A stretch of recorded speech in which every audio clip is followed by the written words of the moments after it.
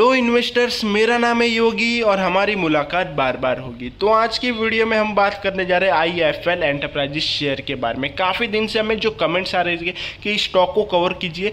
तो आज की वीडियो में हम I F L enterprises share को जो कंप्लीट एनालाइज करेंगे, जो इसमें लेटेस्ट न्यूज़ेज चल रही है और आने वाले टाइम में स्टॉक हमें क्या टारगेट्स दिखा सकता है कंप्लीट एनालाइज करेंगे। तो आज का वीडियो काफ़ी इंपॉर्टेंट होने वाला है। तो वीडियो को पूरा ध्यान से देखना, ध्यान से सुनना। तो चलिए शुरू करते हैं आज का वीडियो।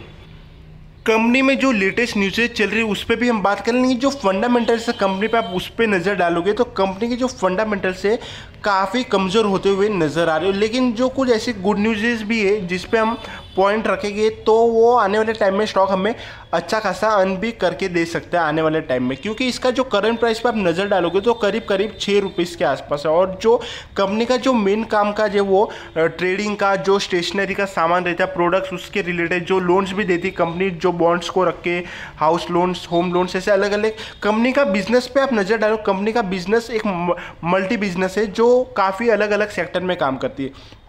और कंपनी काफ़ी पुरानी है, लेकिन जो कंपनी की जो सबसे मार्केट कैपिटल आप नज़र डालोगे तो कंपनी का मार्केट कैपिटल काफ़ी छोटा, करीब करीब 139 करोड़ के आसपास है और जो करंट प्राइस जैसे अभी हमने बताया छः रुपीज़ के आसपास।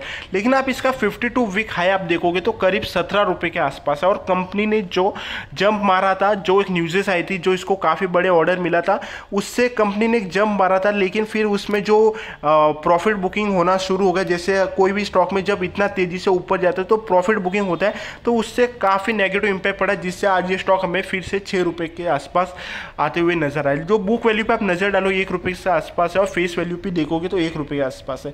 जो कंपनी का मुझे सबसे अच्छा पॉइंट लगा वो कंपनी ऑलमोस्ट डेफ फ्री है। कंपनी पे कोई कर्जा नहीं है। जो सबसे बढ़िया पॉइंट है कंपनी का। लेकिन कंपनी का जो नेगेटिव पॉइंट है, आप वो देखोगे, जो प्रोमोटर है वो कंटिन्यूसली अपना माल बेच रहे ओपन मार्केट में। आप देख सकते हो, जो 2020 में करीब करीब 2.71 की होल्डिंग थी, फिर उन्होंने 2022 में बढ़ाई और फिर से उन्होंने 2023 में आते आते कितनी हो गई? 1.21 परसेंट तो प्रमोटर अपना माल बेच रहे, बढ़ा रहे।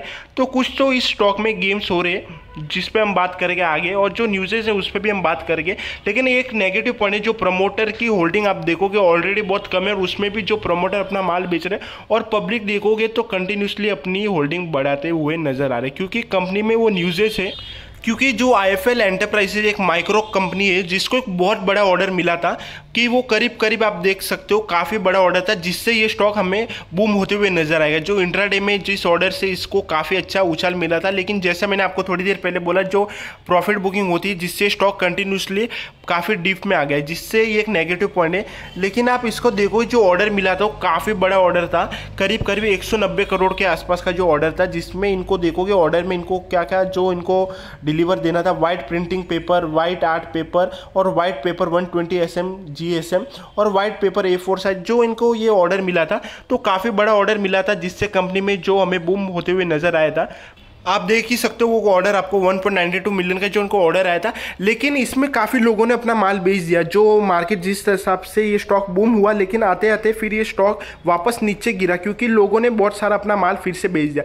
लेकिन जहाँ तक मेरा पॉइंट ऑफ़ व्यू है, इस स्टॉक में आपको छोटी मोटी होल्डिंग बना के रखनी चाहिए, क्योंकि डेफिनेटली जिस हिसाब से कंपनी को इतने बड़े ऑर्डर मिले, और जैसे कि आने वाले फ्यूचर में इसको ऐसे और भी ऑर्डर मिल सकते क्योंकि कंपनी का जो काम का जो मल्टी बिज़नेस है, क्योंकि वो कंपनी फाइनेंस में भी काम करती है स्टेशनरी में भी काम करती है और जो बॉन्ड्स का काम रहता है, उसमें भी कंपनी का काम काज है। तो आने वाले टाइम में कंपनी हमें अच्छा खासा काम भी नज़र आ सकता है, क्योंकि कंपनी काफ़ी बढ़िया तो अभी नज़र नहीं आ रही, क्योंकि जो इसका सबसे एक नेगेटिव पॉइंट है, वो इसके प्रोमोटर वो कंटिन्यूसली माल सेल कर रहे लेकिन जो कंपनी का सबसे अच्छा पॉइंट है, वो कंपनी को जो ऑर्डर्स मिल रहे बड़े बड़े एक पैनी कंपनी है, एक माइक्रो कंपनी जिसका मार्केट कैपिटल काफ़ी छोटा है, लेकिन कंपनी पे कोई कर्जा नहीं, एक अच्छा पॉइंट है। कंपनी पे एक रुपये का कर्ज नहीं कंपनी ऑलमोस्ट डेफ फ्री है।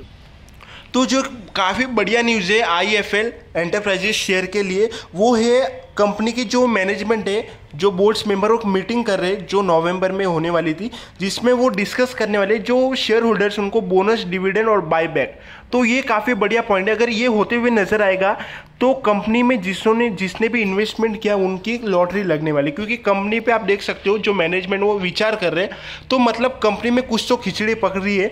और आने वाले टाइम में इस पर हम पता चलेगा कि ये न्यूज़ कितनी सच है, लेकिन जहाँ तक आप देखोगे जी बिज़नेस की न्यूज़ है मतलब ये कंपनी में कुछ तो बात है।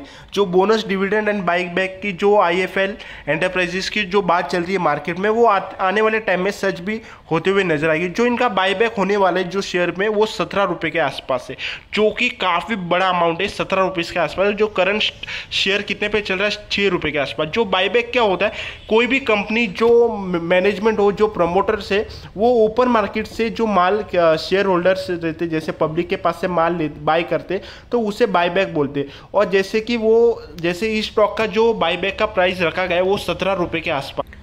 आप देख ही सकते हो वो न्यूज़ जैसे मैंने आपको थोड़ी देर पहले बोला, जो इनका पर इक्विटी शेयर का जो प्राइस रखा गया, वो सत्रह रुपये के आसपास है। मतलब कंपनी में जिन्होंने ऑलरेडी इन्वेस्टमेंट किया, उनकी आने वाले टाइम में लॉटरी भी लग सकती है। लेकिन अभी इस पर जो अप्रूवल आया नहीं, लेकिन हमें फ्यूचर में आते हुए नज़र आए, क्योंकि काफ़ी मार्केट में इसकी जो न्यूज़ेज चल रही है, आप देख सकते हो रुपीज़ सत्रह पर share share buyback proposal the board will discuss and evaluate a proposal for share buyback program up to ten percent of paid capital free reserve of the company company the proposal buy back price is up to सत्रह rupees मतलब सत्रह rupees तक या ये बढ़ भी सकता है, कम भी हो सकता है, लेकिन आने वाले टाइम में जो आई एफ़ एल एंटरप्राइजेस में, जिन्होंने इन्वेस्टमेंट किया, उन्हें अच्छा खासा प्रॉफिट भी हो सकता है। और आप देख ही सकते हो जो आई एफ़ एल एंटरप्राइज है, उन्होंने जो इशू किया है बोनस उस पर भी वो नज़र अभी फिक्स होते हुए नज़र आए। मतलब सबको बोनस भी मिलने वाला है, जो सत्रह नवंबर इनकी जो डेट रखी है। मतलब सत्रह नवंबर के पहले पहले जिसने भी माल खरीदा था आई एफ़ एल एंटरप्राइज उन सभी को वन पॉइंट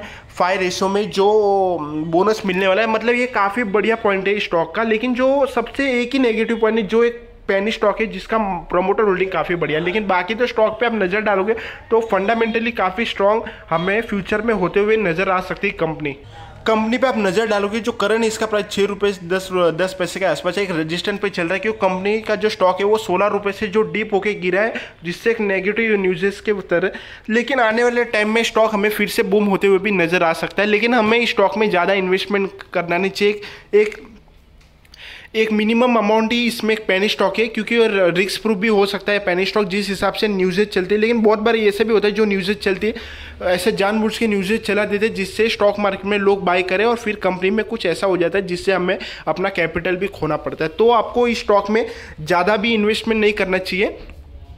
और आईएफएल जो एंटरप्राइजेस शेयर में और भी कोई लेटेस्ट न्यूज़ होगी तो हमारे चैनल पे आपको सबसे पहले देखने को मिलेगी। आपने ऑलरेडी स्टॉक में होल्डिंग बनाई रखी, किस प्राइस पे बनाई रखी है तो आप हमें कमेंट सेक्शन में बता सकते हो। और आपको किसी और स्टॉक के बारे में जानना हो तो आप हमें कमेंट सेक्शन में बता सकते हो, जिस पे हम वीडियो बनाएँगे। तो आपको मेरा वीडियो पसंद है तो वीडियो को लाइक करो। चैनल पर न्यू तो चैनल को सब्सक्राइब करो। हम आपके लिए ऐसे वीडियोज़ लाते रहते तो आज के लिए बस इतना ही। वीडियो को लाइक करो चैनल को सब्सक्राइब करो। Thank you